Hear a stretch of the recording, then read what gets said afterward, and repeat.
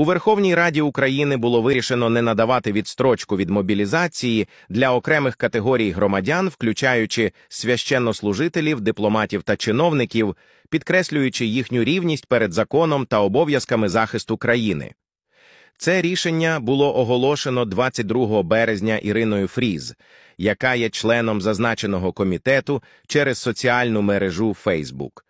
Обговорення торкалося поправок до законопроекту про мобілізацію, які передбачали можливість відстрочки для керівництва Національного антикорупційного бюро НАБУ та Державного бюро розслідувань ГБР, працівників Міністерства закордонних справ та осіб з дипломатичним рангом, священнослужителів, працівників сфери позашкільної освіти, а також для осіб, чиї неповнорідні брати або сестри загинули у військових діях.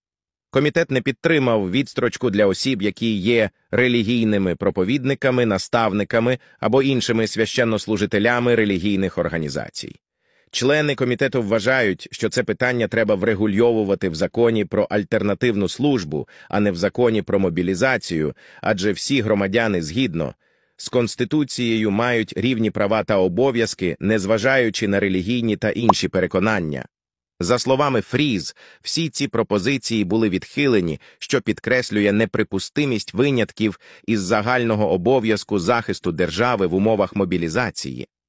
22 березня 2024 року Верховна Рада України зробила історичний крок, ухваливши зміни до законодавства, що регулює діяльність військових капеланів з метою забезпечення соціального захисту військовослужбовців та поліцейських.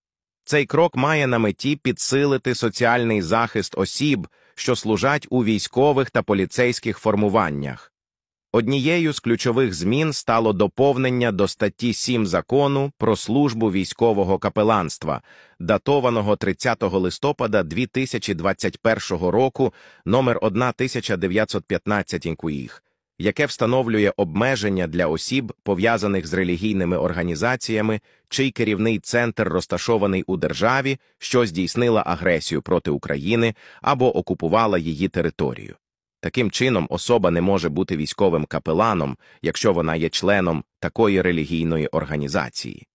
Інші пропозиції до закону про службу військового капеланства, які були розглянуті на першому читанні, не отримали підтримки від профільного комітету і були відхилені під час підготовки до другого читання.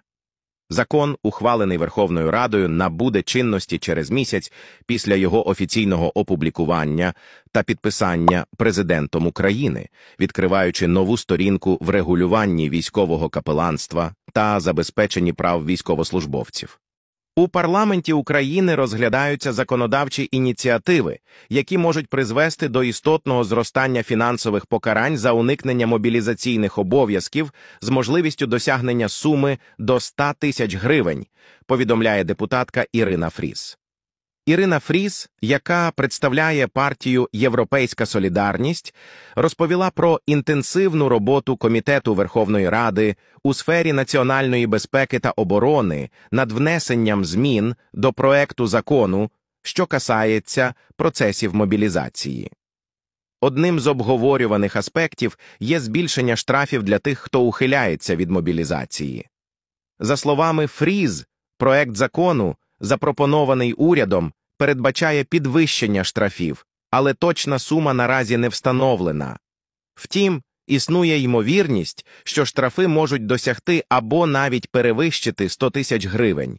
Також Фріз повідомила, що комітет відхилив декілька строгих заходів проти осіб, які уникають мобілізації, включаючи заборону на керування транспортними засобами, замороження банківських рахунків або обмеження на виїзд за кордон. Крім того, було відмовлено від обов'язкового використання електронного кабінету для військовозобов'язаних, надаючи громадянам можливість самостійно оновлювати свої дані через різні канали в умовах воєнного стану. Це рішення, за словами Фріз, є альтернативою, а не вимогою. На засіданні 19 березня було ухвалено рішення, яке звільняє старост маленьких громад від необхідності особисто роздавати повістки, замість цього передбачено інформування через районні адміністрації. Внесені зміни також стосуються правил конфіскації транспортних засобів у компаній, визначаючи чіткі критерії та обмеження для цього процесу. Наразі комітет продовжує працювати над удосконаленням законопроекту, маючи на меті його оптимізацію для другого читання у парламенті. Фріз висловлює надію на ефективну мобілізацію, яка не викликатиме занепокоєння серед населення за умови належної професійної підготовки, мотивації та адекватної інформаційної політики. У парламенті України розглядаються законодавчі ініціативи, які можуть призвести до істотного зростання фінансових покарань за уникнення мобілізаційних обов'язків з можливістю досягнення суми до 100 тисяч гривень, повідомляє депутатка Ірина Фріс. Ірина Фріс, яка представляє партію Європейська Солідарність, розповіла про інтенсивну роботу Комітету Верховної Ради у сфері національної безпеки та оборони над внесенням змін до проекту закону, що касається процесів мобілізації. Одним з обговорюваних аспектів є збільшення штрафів для тих, хто ухиляється від мобілізації. За словами Фріз, проект закону, запропонований урядом, передбачає підвищення штрафів, але точна сума наразі не встановлена. Втім, існує ймовірність, що штрафи можуть досягти або навіть перевищити 100 тисяч гривень. Також Фріз повідомила, що комітет відхилив декілька строгих заходів проти осіб, які уникають мобілізації, включаючи заборону на керування транспортними засобами, замороження банківських рахунків або обмеження на виїзд за кордон. Крім того, було відмовлено від обов'язкового використання електронного кабінету для військовозобов'язаних, надаючи громадянам можливість самостійно оновлювати свої дані через різні канали в умовах воєнного стану.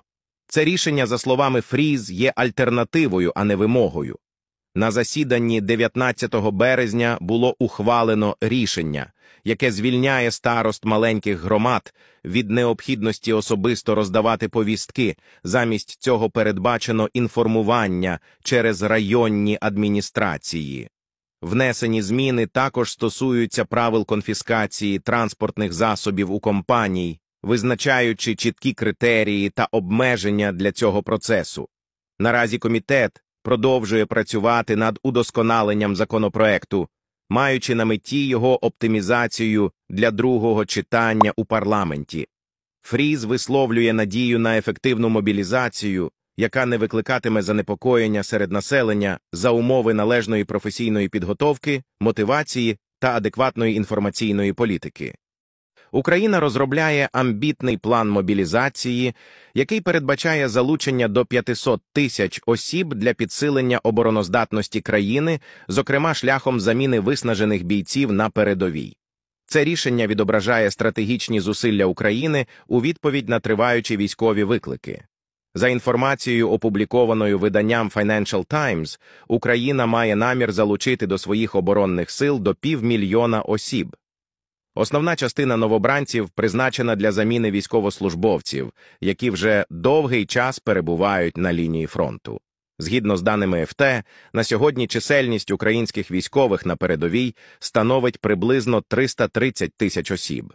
Плани мобілізації також включають залучення додаткових сил для компенсації втрат та задоволення інших потреб армії залежно від обставин на полі бою. Президент України Володимир Зеленський, коментуючи цю ініціативу на прес-конференції наприкінці минулого року, зазначив, що Генеральний штаб та колишній головнокомандувач ЗСУ Валерій Залужний розглядали можливість мобілізації 400-500 тисяч осіб для проведення контрнаступальних операцій.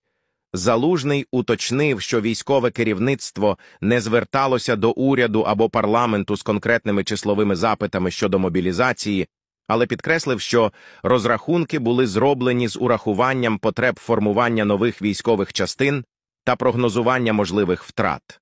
7 лютого Верховна Рада схвалила оновлений урядовий законопроєкт, що стосується мобілізації. Законопроєкт передбачає, зокрема, скасування строкової служби на користь базового військового вишколу та демобілізацію після 36 місяців служби.